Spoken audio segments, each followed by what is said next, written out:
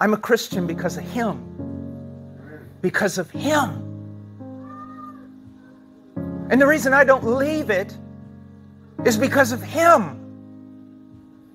It's not because I delight looking at myself in the mirror and seeing a moral man or principled or anything else or educated. No, no, I'd throw it all away. It's because of Him.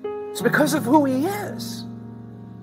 And to recognize that every good and perfect gift has come from Him as God.